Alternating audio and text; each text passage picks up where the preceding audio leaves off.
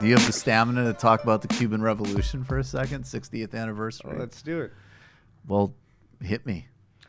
So, um, I guess yeah, I mean, no, I'll set it up a little bit more. I mean, I, are, well, first of all, I mean, are you?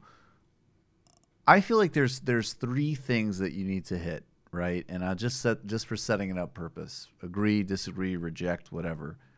I feel like okay, one is acknowledging that there are a lot of great accomplishments that are real, that are tangible, healthcare, education, but also the overthrowing of Batista, also the surviving for that amount of time, and also some of the international efforts, everything from, you know, like guerrilla efforts in the 60s and 70s, but also now more like, you know, doctors in Venezuela or Brazil and now possibly in Mexico.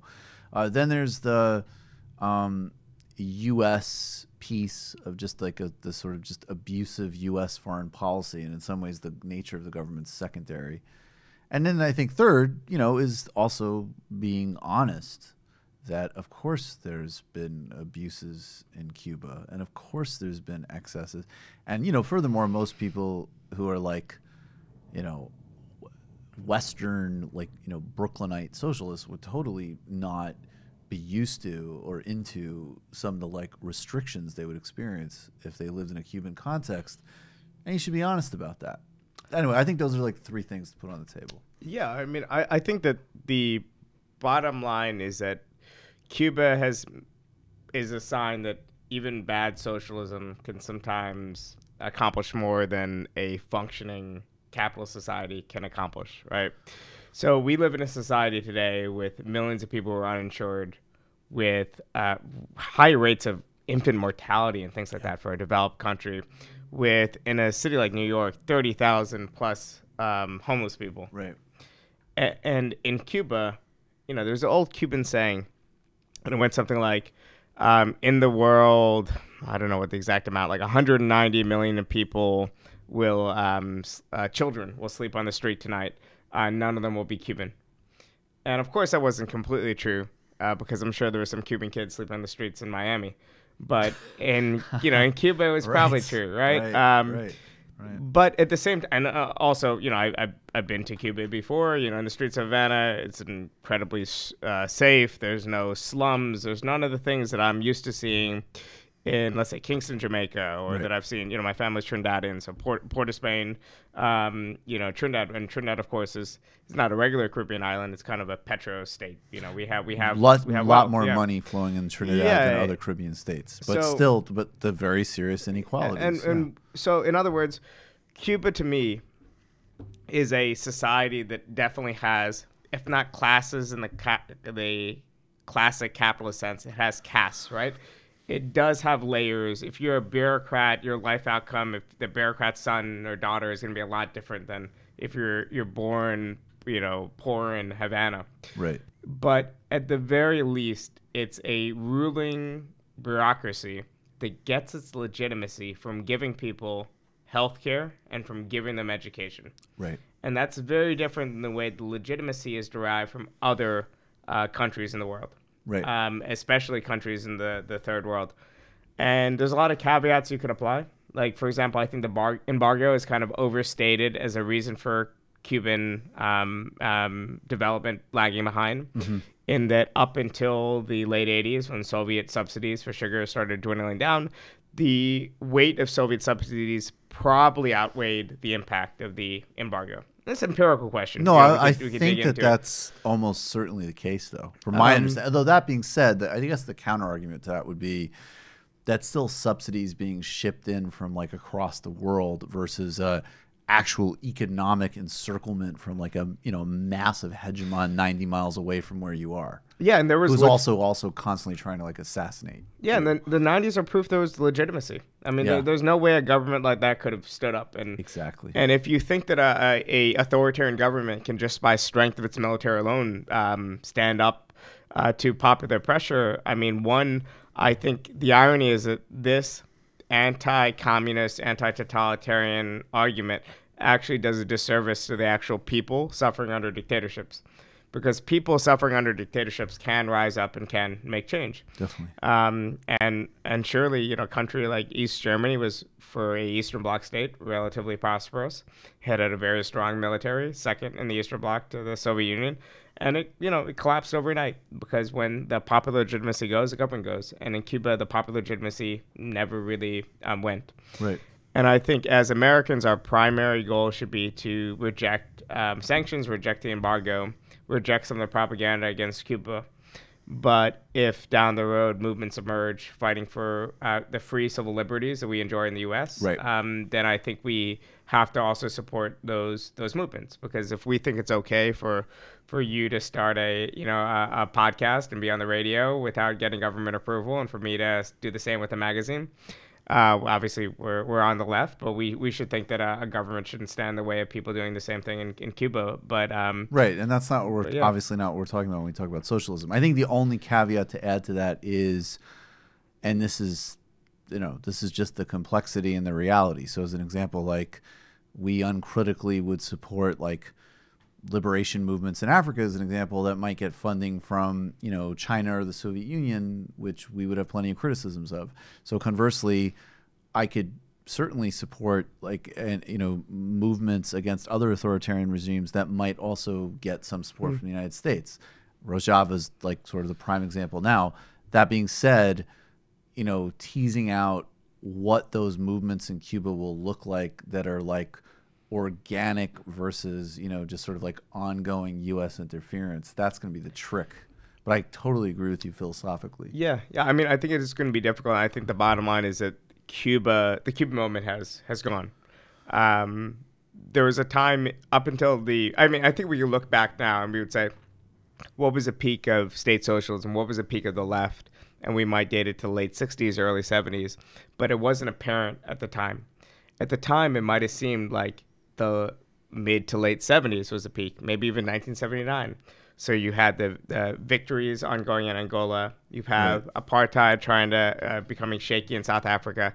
You have the sour the, the coup in Afghanistan, the left wing coup in Afghanistan, which is called the Saur Revolution, which happened in April uh, 1978 you know, you have all this advance in the third world. You're about to have the um, revolution uh, or the coup, you know, left wing coup in, in Grenada. Right. Um, and, and it's not clear And whether. even Burkina Faso is not that far out. yes, exactly. With Thomas Sankara. Yeah, exactly. Yeah. Um, so so I would say Cuba right now though is is is isolated. It's in a different period. It's a different moment. It's trying to keep hold of what's good in its revolution, Right. but it's going down the Sino uh, Vietnamese model of having to bring in market development, having to bring in foreign investment in such a way that it's going to lose certain aspects of the Cuban system that is that is good.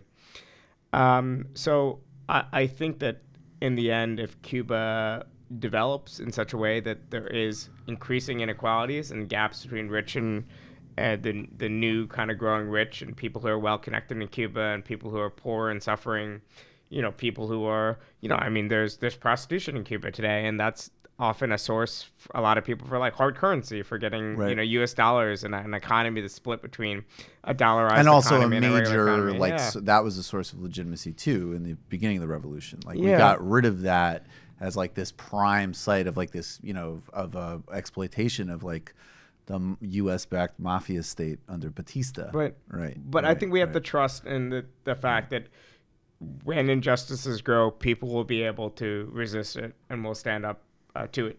You know, and uh, and reject the idea that you know um, there's a million Cubans out there just waiting for Americans to to come in. Because I think that's one thing that the majority of Cubans can agree on, which is that they could uh, you know handle their own affairs without uh, Big Brother and um, and DC uh, 100%. looking in. perfect um yeah and Did you and- have early affinities to the Cuban Revolution when you were like I don't know, just getting politicized, or when you were in high I- school, college? So I did sort of, but I had a, you know, because I got politicized pretty young. So that's like you know, late '90s, like early aughts. I was, and this is maybe in a good way, but you know, th- there's all these limits. But I was, I was basically just sort of like Noam Chomskyized, hmm. and so one thing that he was pretty good about. I mean, he's obviously made his mistakes like everybody else, but he didn't he didn't make like a place like Cuba like a site of fantasy. So I think if anything, I was maybe and I and I was fascinated obviously by the Cubans, but I think that I, I you know I read some about Castro and then very quickly it was sort of yeah I don't know. I think I was just too early on introduced to the mm. problems and I think that maybe my path was almost the opposite way of being like okay I'm glad that I wasn't idealistic about it. I'm glad that I didn't have like delusions of grandeur about Cuba. But actually this is also like an incredibly you know important moment and in some ways a successful mm-hmm. experiment and even where it's been a failure it was like a noble failure.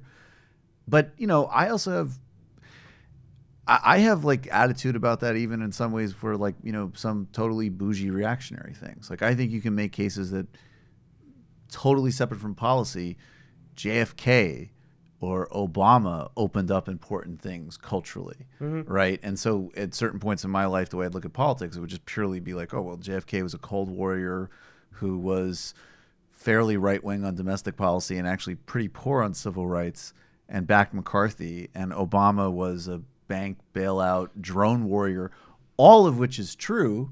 But I think like the fuller picture also is well, there was actually some really culturally significant touchstones of both of these presidencies. So Yeah, I mean. I, I could see that with Obama. I think JFK just, you know, I don't know. you know, you don't think JFK opened up cultural space in the United States, No, especially? Yeah, I don't see No. it that way. Uh, I have to. say, I'm I not think sure. Obama, I could, I could give you. I I, could think give, Ob- you- I could give a lot of ground to Obama Obama now. definitely because pe- but Mhm. that's just because of I mean just purely on American white supremacy alone.